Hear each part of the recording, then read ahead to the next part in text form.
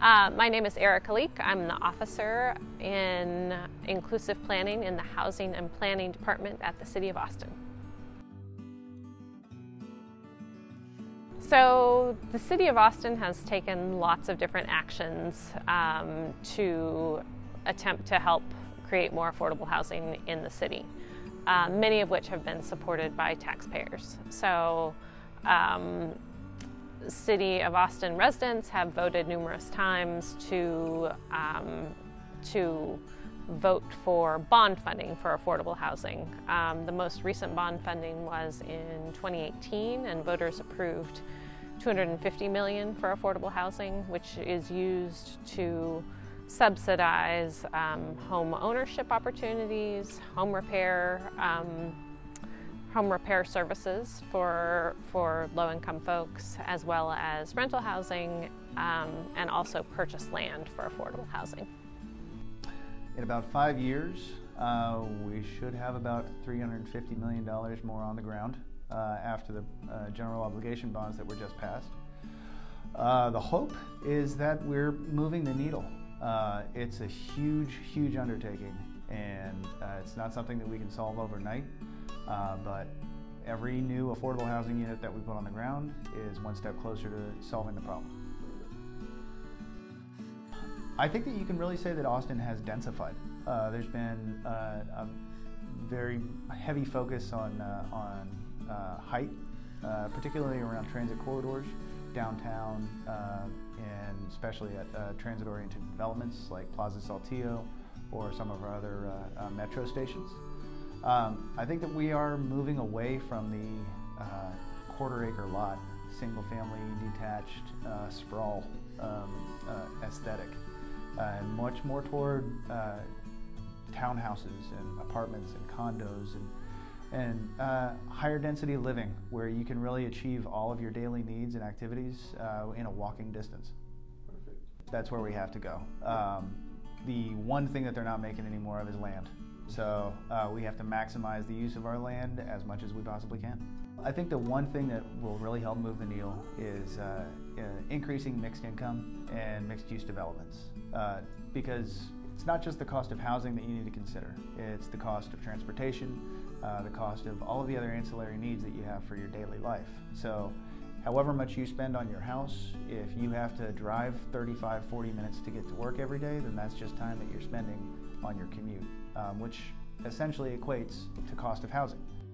So by focusing in our, our density, by building more mixed income developments where we can have higher income individuals helping to subsidize uh, those lower income households, uh, I think that we can really make an impact on the city.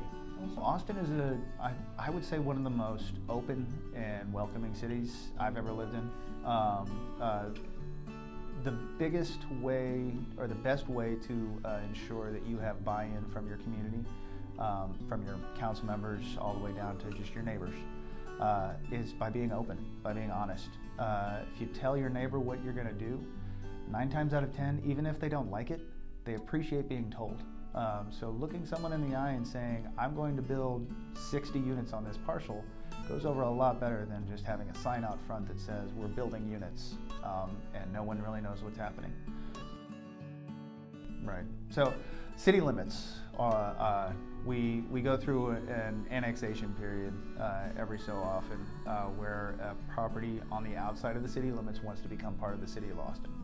Then annex that annexation process is voluntary. Uh, the state of Texas has a uh, restriction on um, what they call forced annexation. Um, but to your point, all of the surrounding cities, whether it's Pflugerville, Buda, Kyle, uh, Dripping Springs, uh, Leander, as these cities grow, it's going to have a significant impact on how the city of Austin grows, not just in terms of how we develop, but the jobs that are available, the transportation that we use, uh, and the transit options that are available. So uh, when we have the Project Connect lines going through, we know that uh, the red line going up from Leander all the way into downtown is only the first step, and we're going to see a lot more of that in the future. Uh, whether or not we have uh, train lines that run throughout the entirety of central Texas, I think that's a hundred-year goal. Um, but just in the in the immediate future, in the next 10 years, while we have this Project Connect project underway, uh, I can definitely see uh, a focus of density, uh, not just within the city limits, but at those nodes, those corridors that we see um, uh, throughout the throughout the region, that are really going to tie areas like Pflugerville to Dripping, to Dripping Springs or uh, tie Kyle to Leander. The one thing that I that I try to mention every time we talk about affordable housing is uh, time and money. Uh, in the city of Austin, it takes about three years for any development to get built.